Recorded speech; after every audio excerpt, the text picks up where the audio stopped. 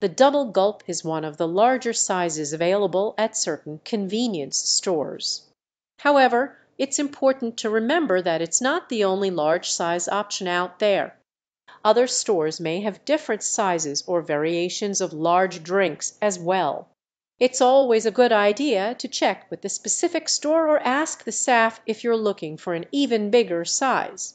Keep in mind that drinking large amounts of sugary drinks may not be the healthiest choice, so it's important to consume them in moderation.